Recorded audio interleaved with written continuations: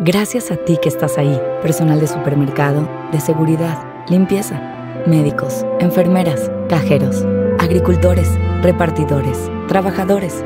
Cuida de ti, cuida de todos. Unidos somos mejores. El bienestar de todos es nuestra empresa. Voz de las empresas. Consejo de la Comunicación.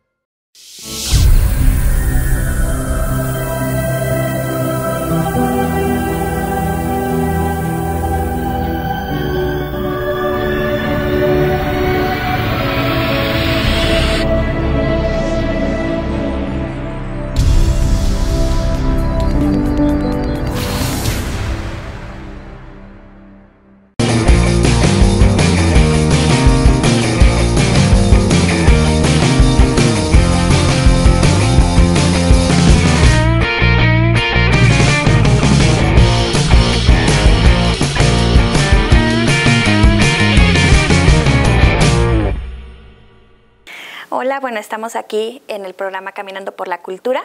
Este día nos acompaña Liliana Nava, que viene del Museo de el Museo Nacional de la Revolución. Hola, ¿cómo estás? Así es, vengo del Museo Nacional de la Revolución a platicar con ustedes. Muchas gracias por la invitación, de verdad. Estamos muy contentos. Cuando mi directora se enteró, me dijo, bueno, ya no pudo venir, pero dijo, por favor, Liliana, ve, esto es muy importante porque nuestro público justo son los chicos y los chicos, chicas y chicos de secundaria. Generalmente. Entonces estamos muy contentas. Muy bien. ¿Y qué nos puedes compartir acerca de, este museo, el Museo Nacional de la Bueno, primero les platico dónde está. Creo que es bien importante mencionarlo porque, este, no sé si lo conozcas, pero sí, sí, lo conoces. Bueno, estamos debajo del Monumento a la Revolución muy cerquita del Metro Revolución y también del Metrobús Plaza de la República. Somos recintos distintos. El Monumento de la Revolución es privado y el Museo Nacional de la Revolución es de la Secretaría de, Cultura de la Ciudad de México. Okay. ¿El de la Revolución, el de Revolución está abajo? Sí, es en el subterráneo del monumento.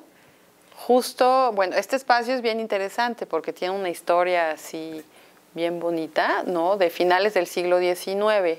Resulta ser que la Plaza de la República que ahora conocemos, Porfirio Díaz había pensado hacerla un palacio legislativo, ¿no? El palacio legislativo de la nación. Pero justo con la entrada de la revolución se quedó coartado el proyecto. Entonces, dentro de este proyecto que ya estaba trabajando un arquitecto francés, que había elegido que se había elegido dentro de una convocatoria, este, solamente quedó la parte que conocemos del monumento, pero solamente la estructura.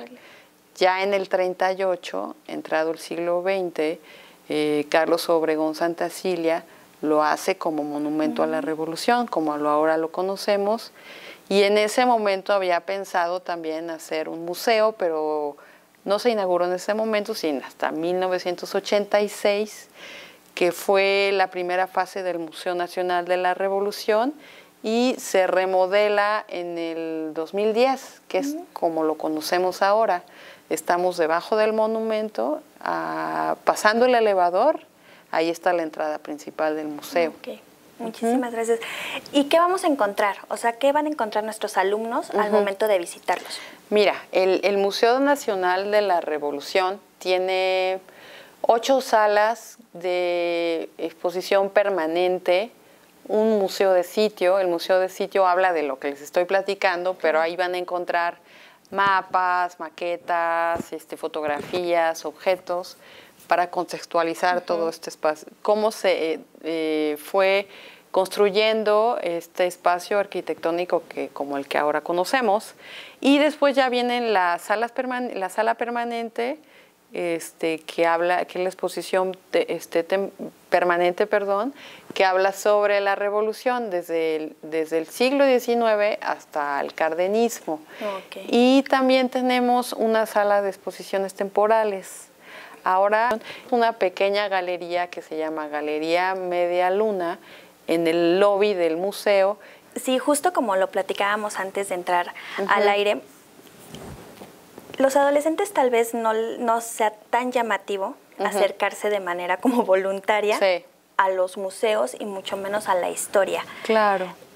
¿qué es lo que ellos van a poder encontrar en este Museo de la Revolución que se van a poder llevar a su día a día y que a través de eso que vean en el museo van a poder seguir creando su identidad como individuos y no solamente como, como mexicanos o como parte de algo más grande, sino de ellos mismos como personas. Claro.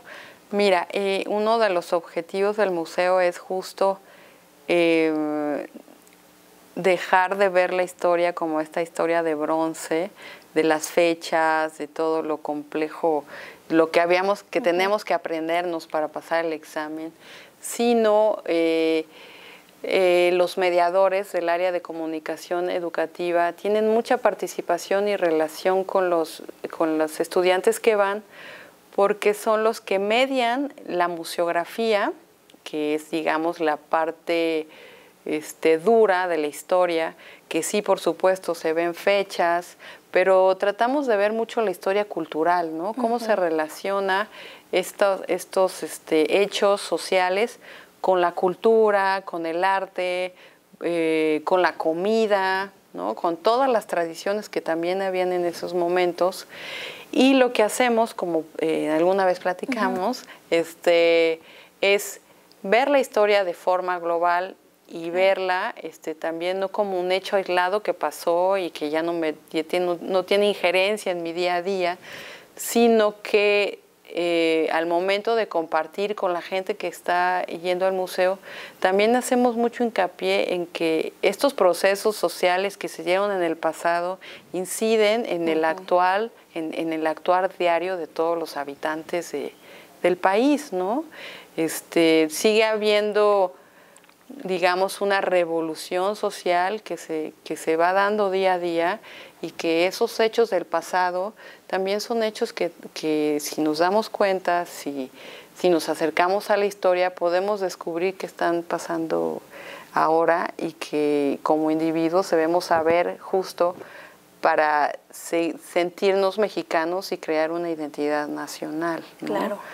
Y sobre todo dejar de ver a los personajes históricos, como lo decía como personas como inalcanzables, como héroes inalcanzables, sino que son o son personas así de carne y hueso que también tienen miedos, también este tuvieron muchos conflictos con su familia, a lo mejor en ese momento, cosa que también le puede pasar a cualquier individuo, cualquier chico que va al museo, pero que tiene ideales, ¿no? Sí, Entonces, porque estos, estas figuras históricas actuaron de determinada manera movidos por estos ideales, ¿no? ¿Cuál crees que es la importancia de tener estos ideales en los adolescentes hoy en día? Pues es muy importante porque eh, al partir, partiendo de los ideales es como construyes una comunidad y te relacionas con el otro, porque también hay que dejar de pensar como eh, solamente en el individuo, ¿no? este, aislarse de, lo que sucede en una sociedad. Y creo que muchos de los ideales son este, no solamente propios, sino que son compartidos por... Eh, eh, y bueno, también este, creo que mucho de lo que nos da la historia y lo que nos dan, lo que nos dan estos personajes que van a ir a conocer al museo es nos van a transmitir también esas ganas de crear un ideal, ¿no? En tu vida. Sí, que a lo mejor no va a ser como ellos, ¿no? El ideal de crear una revolución. No. Sino el ideal, como dices, un ideal personal, ¿no? Sí. ¿Qué, ideales tienes en tu vida? Y sobre todo, el humanizar más la historia, ¿no? Sí, sí, sí, sí. ¿No? Porque está como muy... acercarla, ¿no? A nosotros. Es así como este, esas historias que eh, actualmente ya se ha trabajado mucho más en, las, en, no en esas grandes historias de bronce nacionales, sino en historias este, humanizadas, ¿no? Eh, el, papel de la mujer en la revolución, este, desde la comida, en la alimentación, los niños que, que estuvieron en la revolución. Entonces, y no solamente las fechas y los personajes y los héroes nacionales, ¿no? Que sí nos ayudan a contextualizar cronológicamente un evento histórico, pero hasta ahí nos quedamos y no vemos el contexto que, hay más allá de, estas fechas. Y al momento de, ustedes, desde su aporte como museo, el acercar la historia de una manera más digerible, como más humana, más llevada a un contexto actual, también estamos como el creando este momento de reflexión en, en los chicos. Claro. ¿no? Que después de ir ok, ya lo vieron, ya lo, pues sí, lo pude apreciar, ahora me voy y lo reflexiono. Exactamente. Y entiendo cómo, cómo esto se va relacionando. Y no nada más ver ahí como la materia de historia o la de geografía o la de cívica y ética, sino entender que hay una relación. Entre, todos. Entre todos, exactamente. Y, justo este también es importantísimo, o sea, además del museo, además de, de los estudiantes, el, papel de los maestros y maestras este, es, realmente importante. Por eso los invitamos a que los, maestros se acerquen al, museo para también crear una planeación en conjunto, para que eh, la visita este, sea más provechosa y que se reflexione mejor en torno a esta materia tan importante que es la historia. Entonces yo creo que debe de ser un trabajo en conjunto que tenemos que hacer. ¿Y tienen algún este algún programa para acercar el museo primero a los docentes y que ellos a su vez sean como el, puente con los adolescentes? Sí, de hecho nosotros en, la, parte de, de comunicación educativa, este tenemos estrecha relación con la SEP y digamos que a partir de eh, las juntas que hemos tenido y siempre ah, este, comentamos estos casos ¿no? del vínculo entre los maestros y el, museo, eh, a veces se queda nada más ahí y no se transmite mucho a los maestros, pero cuando los maestros llaman a nuestro recinto para este, agendar alguna visita, nosotros sí les proponemos a los docentes que tengan una visita previa al recinto para justo planear juntos este, eh, cuando los chicos lleguen a visitarnos. Entonces yo eh, les, les, comparto a todos los docentes que quieran eh, acercarse al museo, este, escríbanos, este, háblenos y este, hacemos una visita previa y podemos hacer de, de, esta visita una gran experiencia para los alumnos. ¿Y a dónde les pueden escribir? Mira, me los pueden escribir a mnr.difusión.gmail.com. Eh, este es el correo este, en donde yo recibo todo lo que tiene que ver con visitas guiadas y cualquier cuestión de difusión, pero también se pueden acercar a nuestras redes sociales es una eh, ahí sacamos mucho contenido y siempre estamos muy atentos de lo que nos escriben. Entonces búsquenos como Museo Revolución en Facebook, en Twitter y en Instagram. Ahí también nos pueden encontrar siempre. Estamos muy este ahí todo el día checando qué nos escriben. También las dudas de los alumnos y alumnas también lo pueden hacer por esa vía. Creo que ha servido mucho. Eh, comunicarnos por vía redes sociales, ha estado muy, bien estas plataformas. Muy bien. ¿Y teléfonos? ¿Algún teléfono? El teléfono no me acuerdo. Se, llevo como, ¿qué? Tres años trabajando en el museo, pero no me acuerdo. Por favor, acérquense a las redes sociales, que, que, ahí es el vínculo. Ahí van a ver la información de este, del recinto y los teléfonos. Entonces nos pueden buscar por ahí y, este, y ya vemos si planteamos cualquier duda. También planes o cursos que quieran tomar en el recinto.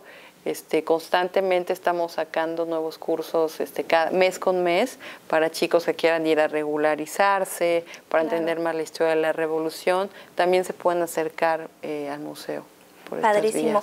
Y este, por último, ¿qué, nos, les pudieras recomendar a los docentes como un previo a, ir al museo, qué pueden hacer los chicos durante el museo, después y cómo lo pueden retomar en sus salones de clase.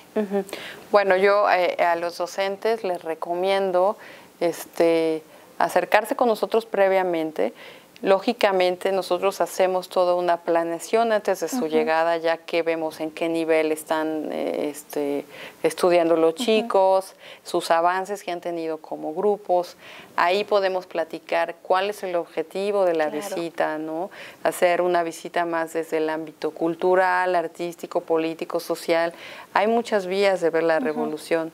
Entonces, primero planear una buena visita para que los alumnos lleguen y entonces sí vivan una experiencia eh, este, realmente que se les quede y que, y que lo y que en su día a día lo manifiesten, ¿no? Claro. Este, y bueno, e, esto les va a ayudar mucho. Y antes yo siempre de las visitas eh, les propongo también ver alguna serie de películas este, o documentales que lo pueden ver por, cualquier canal de videos. Entonces, este, eh, háblenos, acérquense con nosotros y nosotros les damos toda esta información. Vamos a estar muy pendientes de todas sus dudas. Muy bien. ¿Qué horario tiene el museo? El museo abre de martes a viernes de 9 de la mañana a 5 de la tarde, sábados y domingos de 9 a 19 horas. El domingo es entrada libre y el acceso general, el resto de los días es de 34 pesos general y 17 con credencial de estudiante. Muy bien. Muchísimas gracias por pues acompañarnos. gracias a ustedes. Muchísimas gracias por la invitación. No, muchísimas gracias. Y nosotros, bueno, le mandamos un saludo al licenciado Ernesto Gutiérrez Garcés. Muchísimas gracias por, por este acercamiento con la cultura. Gracias.